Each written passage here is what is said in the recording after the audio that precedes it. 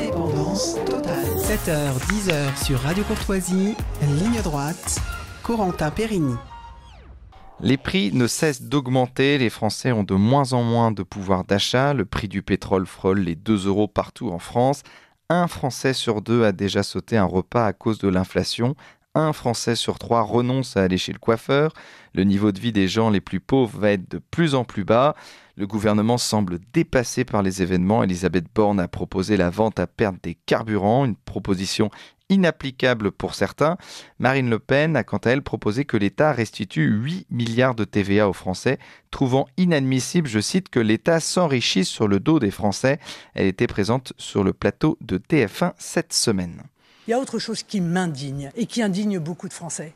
C'est que plus il y a d'inflation, et plus l'État euh, engrange de l'argent.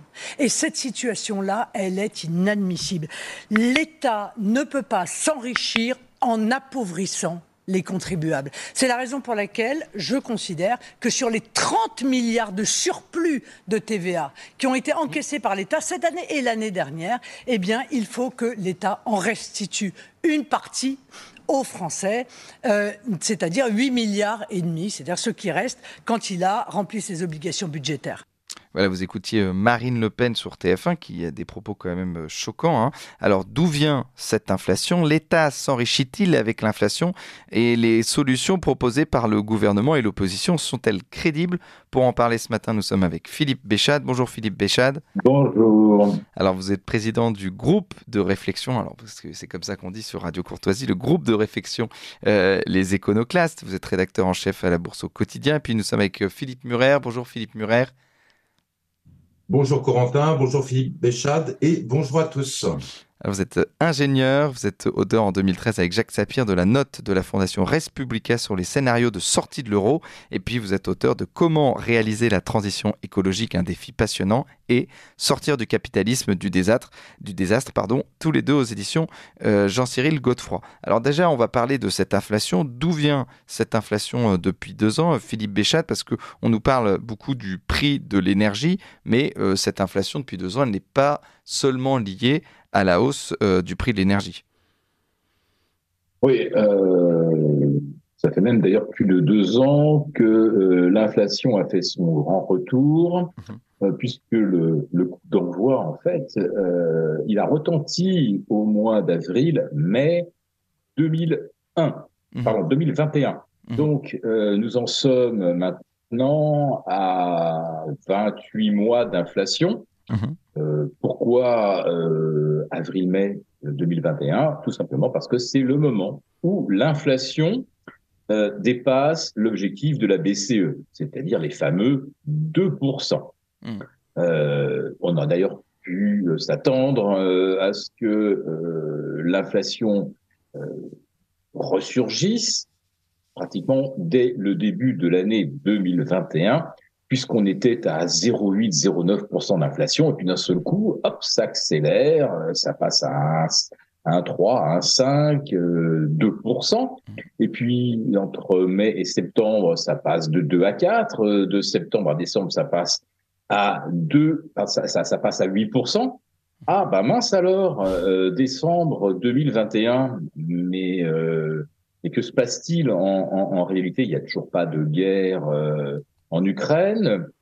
En revanche, bah, euh, l'État a soutenu l'économie en mode quoi qu'il en coûte, euh, à peu près la même chose aux États-Unis, avec euh, l'envoi des, chèques fédéraux. Bref, on a distribué en fait euh, 4 000 milliards de pouvoir d'achat aux États-Unis depuis le début de la pandémie et euh, grosso, grosso modo euh, un peu plus de 3 000 en Europe. Voilà, donc d'un seul coup, il y a un afflux mm.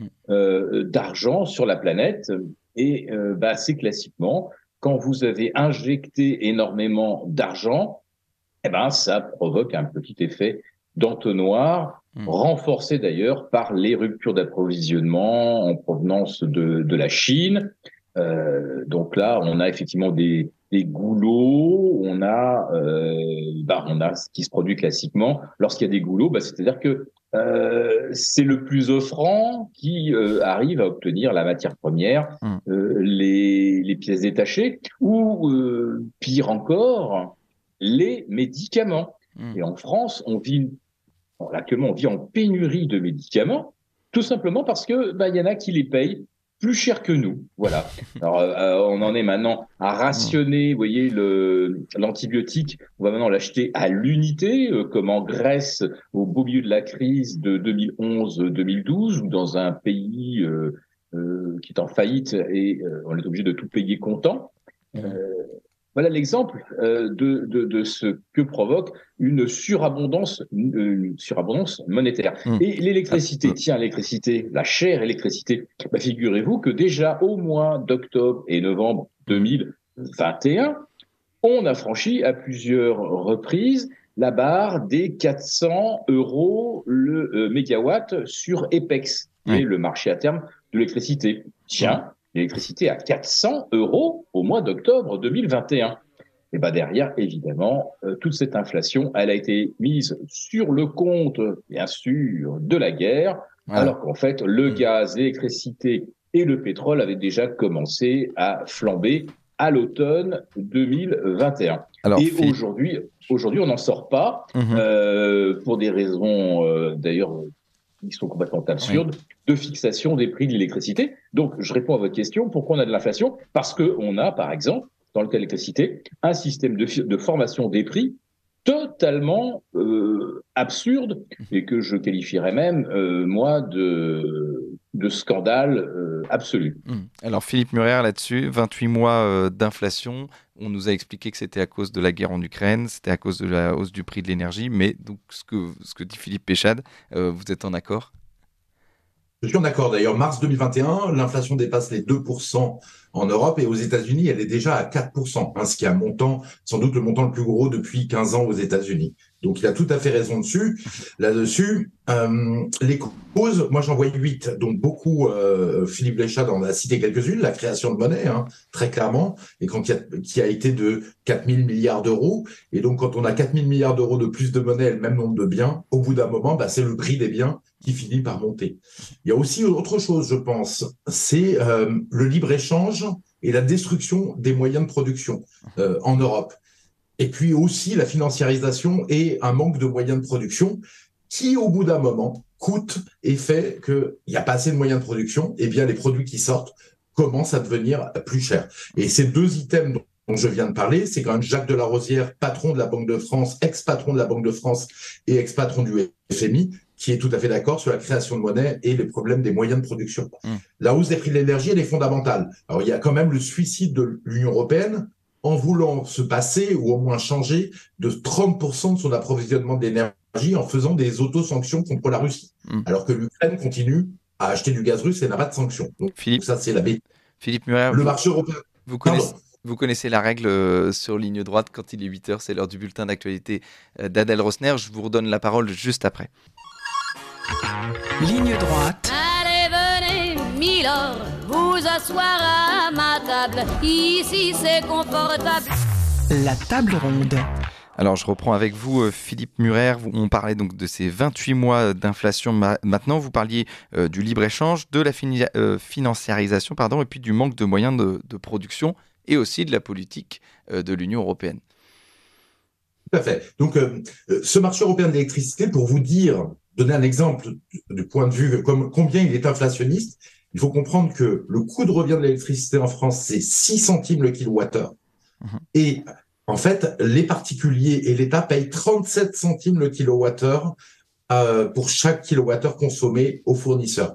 Pourquoi 37 centimes? Parce que vous payez vous-même 23 centimes Corentin, mhm. le kilowattheure, par exemple, quand vous consommez un kilowattheure, mais l'État paye 14 centimes d'euros le kilowattheure aussi. C'est ce qu'ils appellent le bouclier de l'électricité. On ne comprend pas trop pourquoi. Donc, vous passez de 6 centimes à 37 centimes, vous faites fois 6 entre le coût de revient et le coût de vente. On voit que c'est délirant avec l'inflationniste.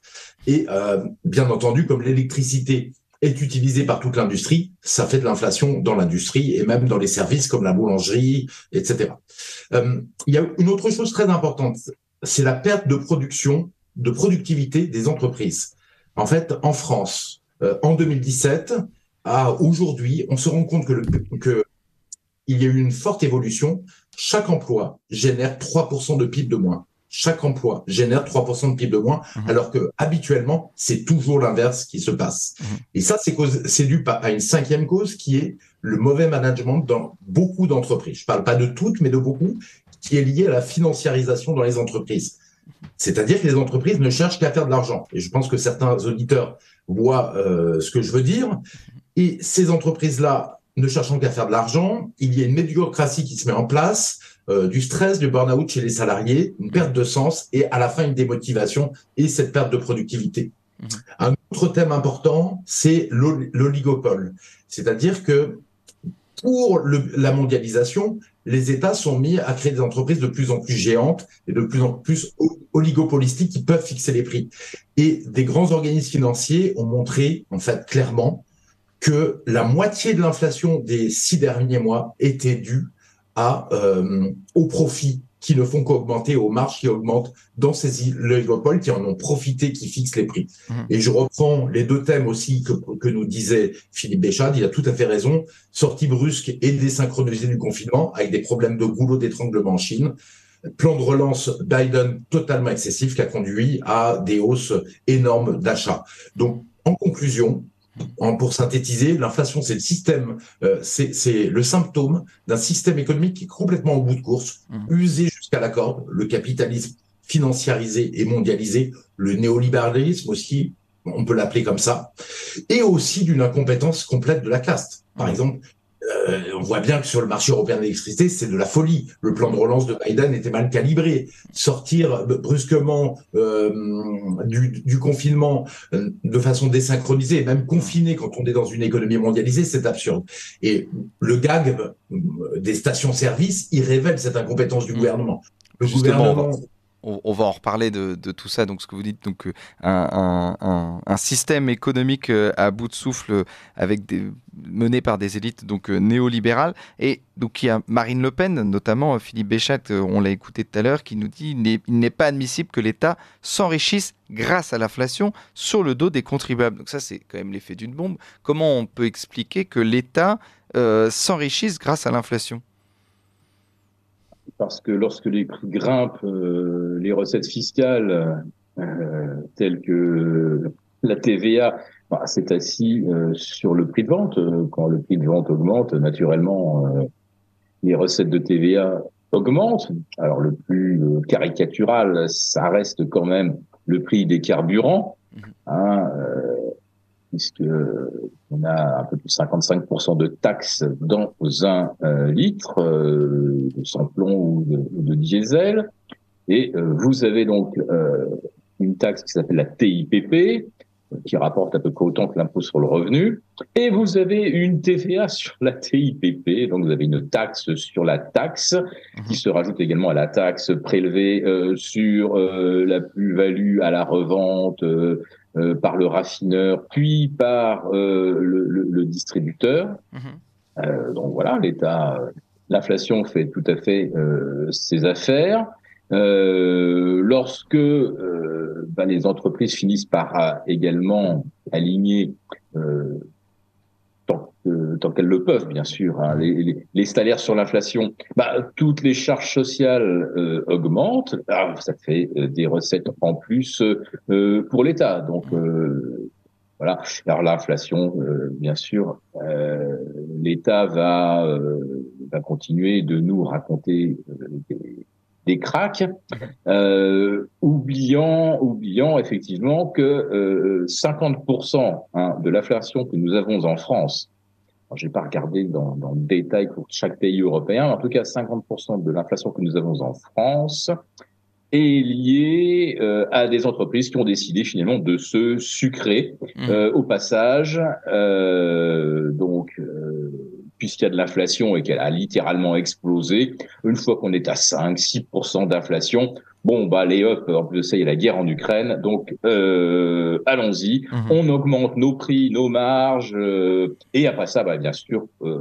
on a des médias et le gouvernement qui va évidemment tout coller euh, sur la guerre en Ukraine, alors que ce sont nos propres entreprises euh, qui euh, se sucrent euh, sur le dos euh, des consommateurs. Et je parle de ce, ce sucré parce que le sucre est un exemple caricatural de hausse de 60% en l'espace d'un an. Euh, J'aimerais comprendre là où il y a une pénurie de sucre.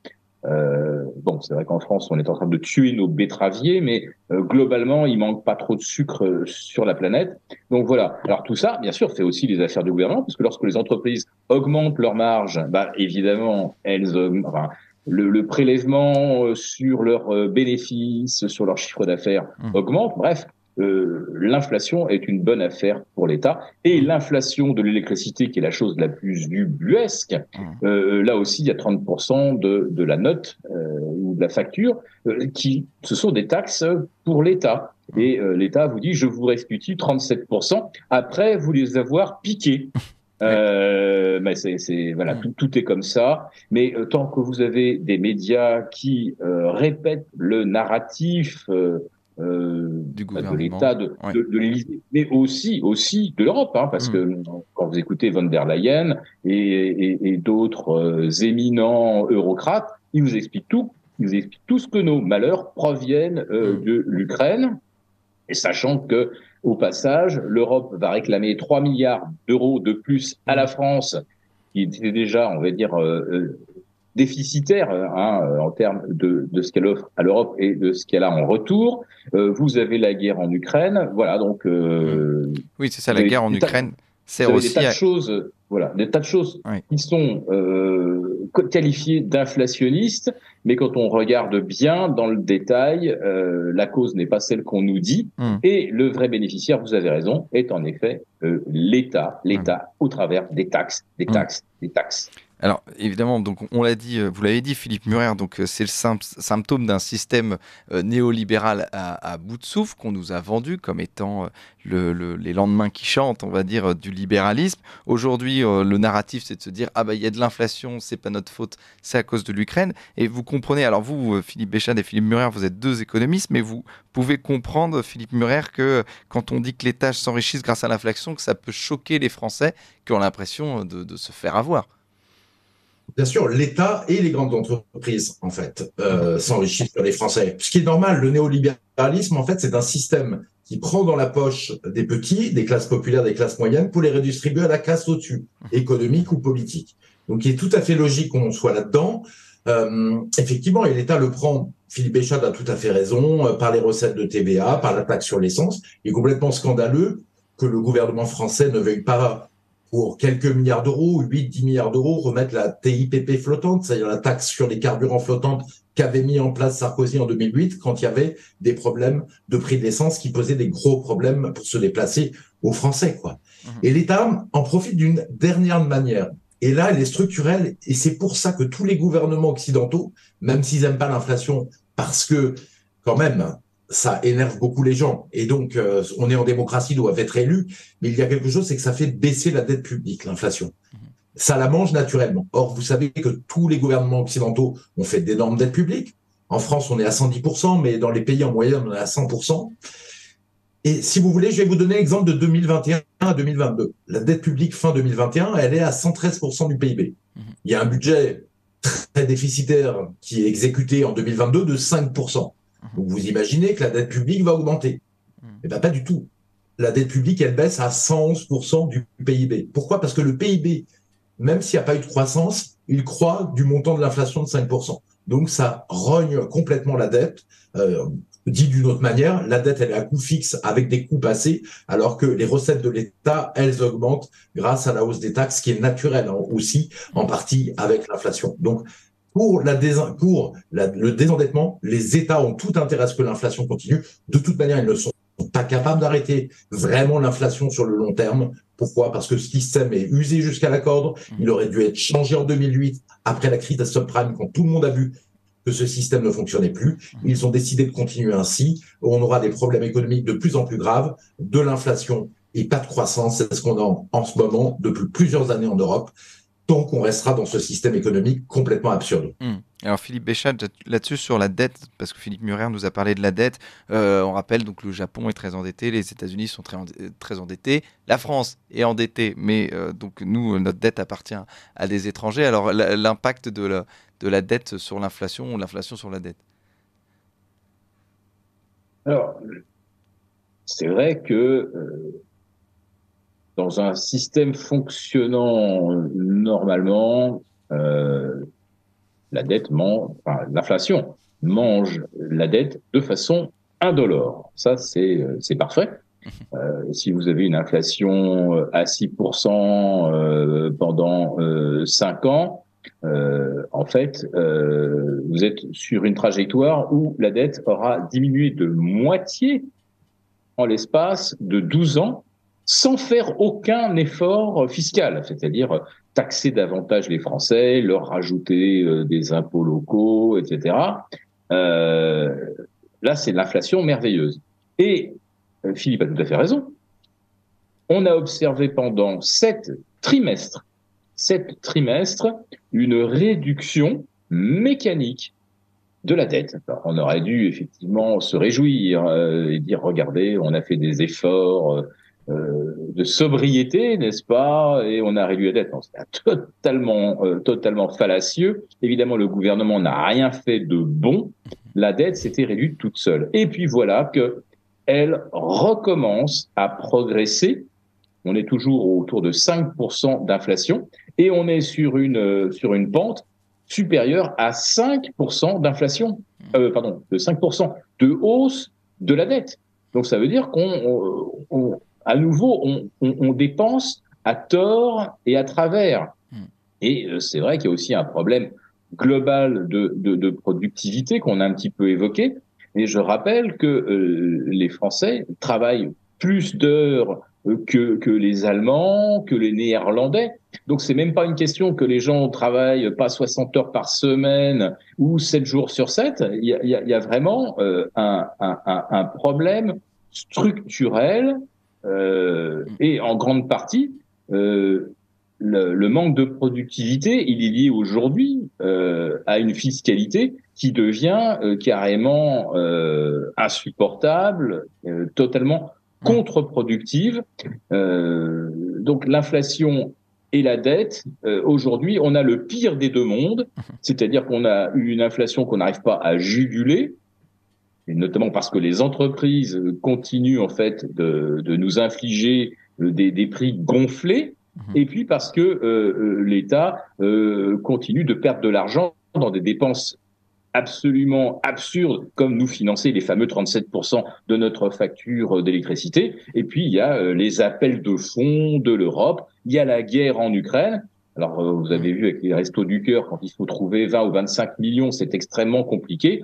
Euh, pour la guerre en Ukraine. S'il faut 2,5 milliards, vous les avez tout de suite. Mm. Et si jamais une grande banque européenne euh, pour une raison ou une autre, euh, connaissait d'un seul coup des soucis parce que euh, les, les, défauts sur les crédits augmentent et qu'elle avait besoin de 25 milliards, les 25 milliards, vous les trouveriez dans la nuit. Mm. Hein. 25 millions pour les restos du cœur, vous les trouverez jamais.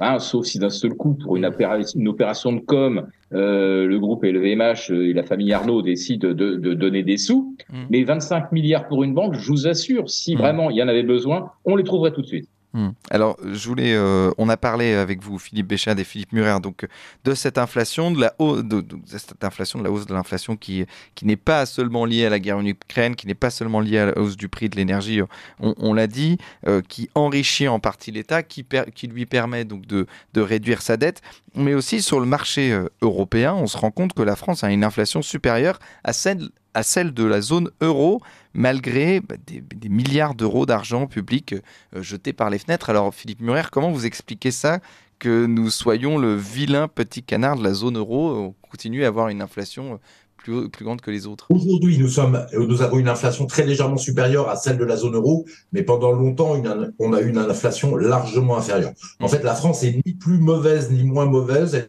dans le peloton de la zone euro. Hmm. De la même manière, j'ai une petite différence avec Philippe. La baisse de productivité, elle a lieu en France pour les entreprises. Et pour moi, c'est pas de la faute des taxes, c'est euh, le système économique en général. Les taxes n'y rajoute en rien de bon, puisque l'Allemagne et les Pays-Bas ont des problèmes de productivité comparables. Juste un point pour montrer euh, ce problème. Le PIB de l'Allemagne de 2023 est le même qu'en 2017. Mhm. Le PIB de l'Allemagne n'a pas augmenté depuis six ans. Donc on a une catastrophe sur la croissance. C'est encore pire qu'en France. La France est juste aussi nul que les autres, ni mieux ni moins bien, ce qui est logique puisqu'on est dans un système économique européen qui est défini par l'Union européenne.